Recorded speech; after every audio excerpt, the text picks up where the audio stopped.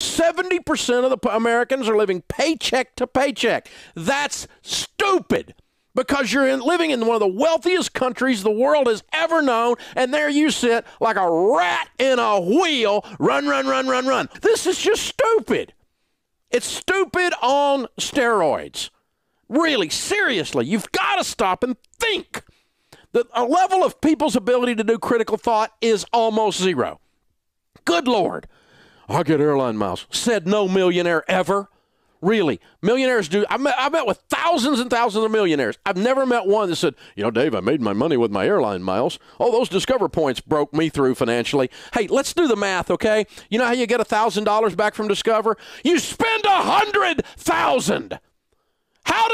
Spending a hundred thousand to get a thousand back ever make you rich? Where did you take your math class? Really? But everybody's counting their dadgum points, and everybody's trying to figure out some way I'm getting I'm, I'm beating up on Chase. Ch- your, Chase is kicking your butt. Their building's bigger than yours, and their furniture's nicer than yours. You ought to have a clue by now.